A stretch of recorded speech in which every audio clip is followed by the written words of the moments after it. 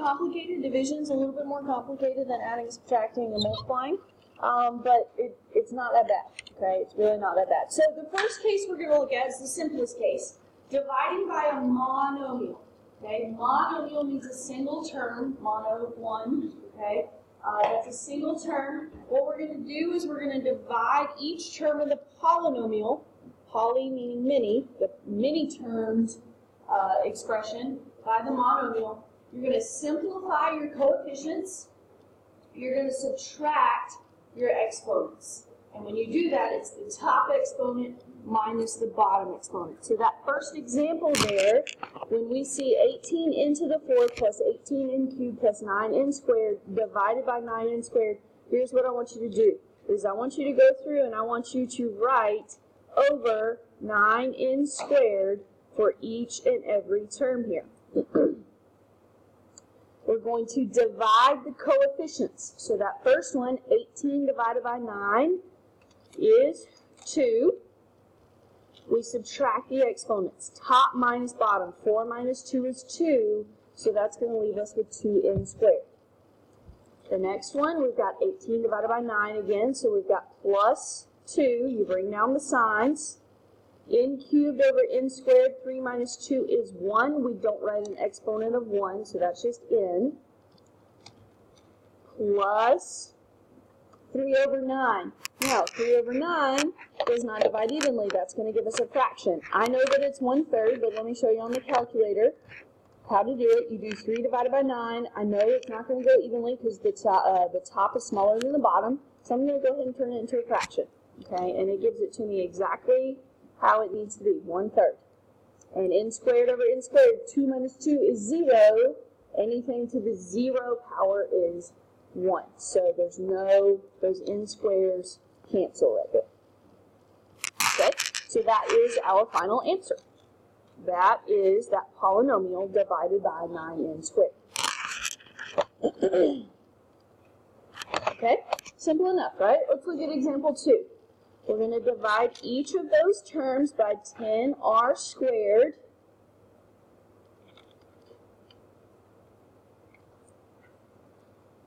So 3 divided by 10, well, top smaller than the bottom again, but 3 and 10 don't have anything in common. That's not going to uh, simplify.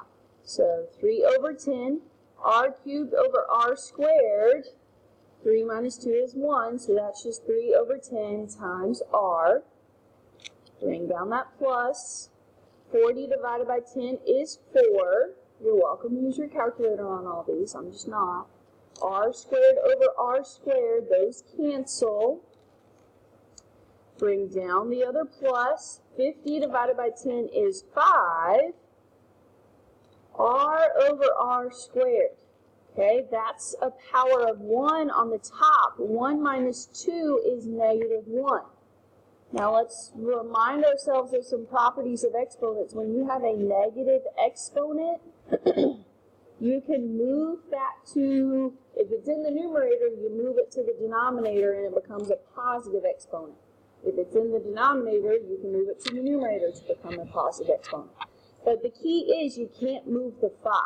Okay, the 5 doesn't go anywhere. It's just the r that moves. So this would be plus 5 over r. Okay, now that's different from the very first term because this r for the first term, and it's probably better to write it in the numerator with the 3. Okay, you can write it in the numerator with the 3 or you can write it beside the 3 tenths. But either way, um, that first term is different from the last term. Yes, r only has a power of 1, but they are different when r is in the numerator versus when it's in the denominator.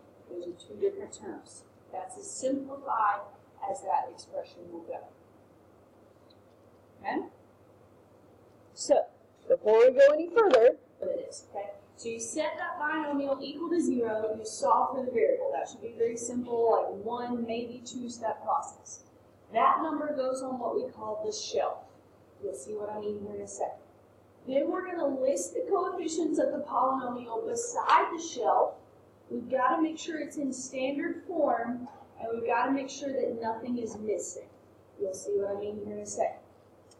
when we get finished with the process, it's hard to describe it in words, so I'm just going to have to show you. But when we finish with the process, we're potentially going to get a remainder. If that remainder is zero, then that binomial is a factor of the polynomial, and the number on the shelf is a root of the polynomial, or it would be an x-intercept. So I'll show you what all that means here, here at the end after we do one. So let's look at this first example. v cubed minus 13v squared plus 29v plus 9 divided by v minus 3.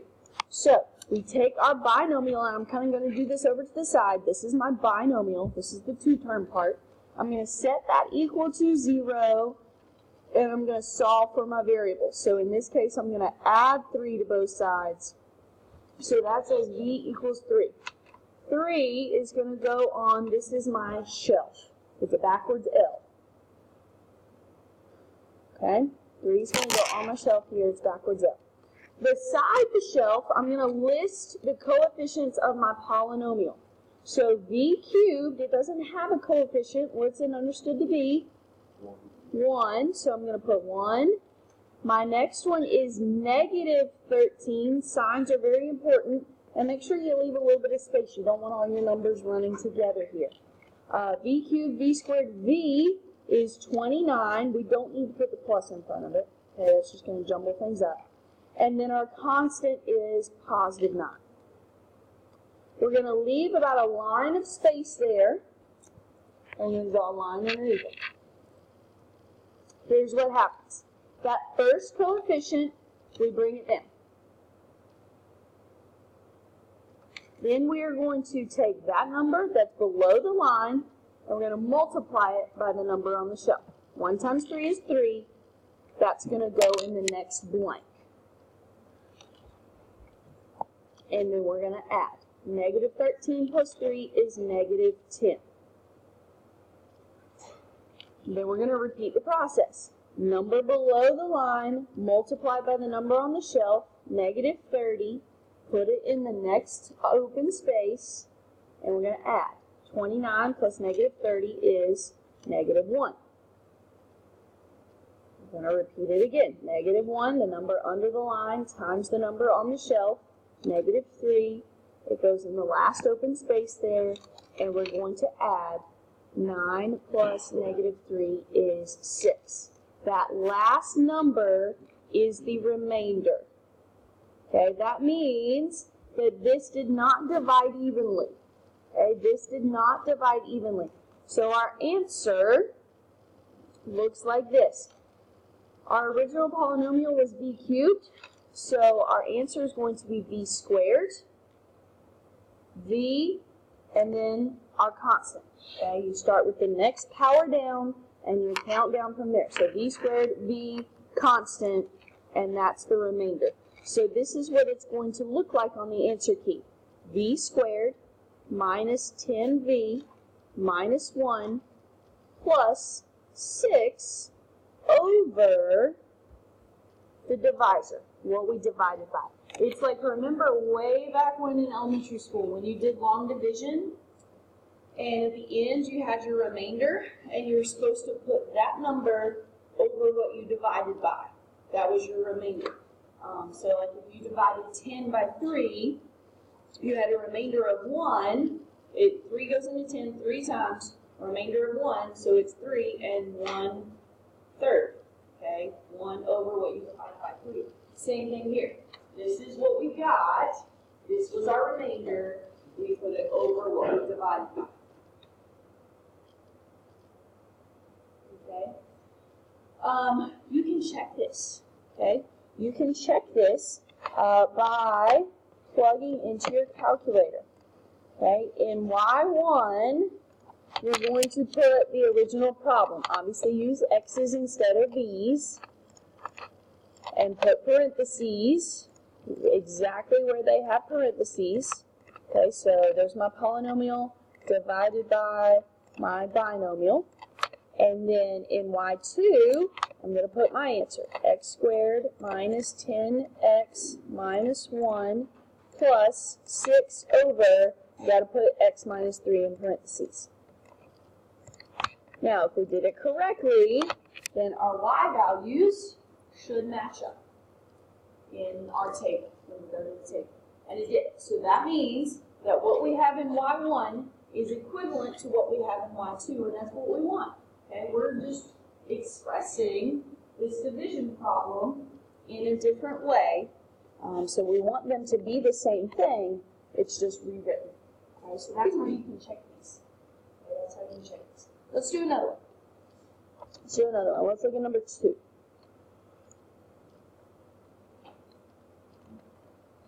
Okay. n minus 7. n minus 7. We're going to set that equal to 0. And we're going to solve for n, so that means n is positive 7. Positive 7 is going to go on our shelf. Okay, n cubed, coefficient of 1, n squared, coefficient of negative 6, n, coefficient of negative 17. Constant is 70. First one comes down. The 1 comes down. Then we start the process of multiplying. 1 times 7 is 7. Add. Okay, negative 6 plus 7 is 1. Multiply. 1 times 7 is 7. Add. Negative 17 plus 7 is negative 10. Multiply. Negative 10 times 7 is negative 70. Add. We get 0 our remainder is 0. So that means that that divided evenly, that means n minus 7 is a factor of that polynomial. So our answer is going to look like this. We started with n cubed, so we've got n squared plus n minus 10. There's no remainder, so this is the answer. Okay, that is the answer and we could check it the exact same way. Type in the original problem, type in what we say is the answer, and when we look at the table, they're going to have the exact same y values. That also means, I do want to show you this part too, when we graph, if we graph just this original polynomial, x cubed minus 6x squared minus 17x plus 70, just the polynomial part. When we graph it, it's going to have an x-intercept at positive 7. It has other x-intercepts too, but one of its x-intercepts is positive 7. When I go to the table at positive 7, my y value is 0. Okay, um, so that's what, that, that's also what having a remainder of 0 means. Okay, so 7, the number on the shelf, is an x-intercept or a root of that original polynomial when your remainder is zero. Divides evenly, it's a root, it's an x-intercept. Okay? Um, number three, we're going to modify slightly because I forgot um, to put one of these examples in there. So let's throw out the R term. Okay, so just mark out the R term because um, I want to show you what happens if you're missing a term what happens when you're missing a term. Okay, so throw out the 49r. Alright, so set r minus 5 equal to 0. Solve for r. So we add 5, r equals 5. 5 goes on our shelf. Let's list the coefficients of our polynomial. r to the fourth was negative, so that's a negative 1. r cubed is 14 r squared is negative 36. We don't have r, so we put a 0. And then our constant is 19. You may think, well, 0 doesn't mean anything. How's that really going to affect my problem? It really does affect your problem. If you don't get it there, if it's missing something, it's going to mess up your answer. Okay, so if you're missing a power, we started with r to the fourth, so we should have r to the fourth, r cubed, r squared, r and then the constant, we don't have r, so we have to put a 0 in its place. Okay? It doesn't change the synthetic division. We still do it the same way. Bring down the negative 1, multiply, gives us negative 5, add, 14 plus negative 5 is 9, multiply, 9 times 5 is 45, add, negative 36 plus 45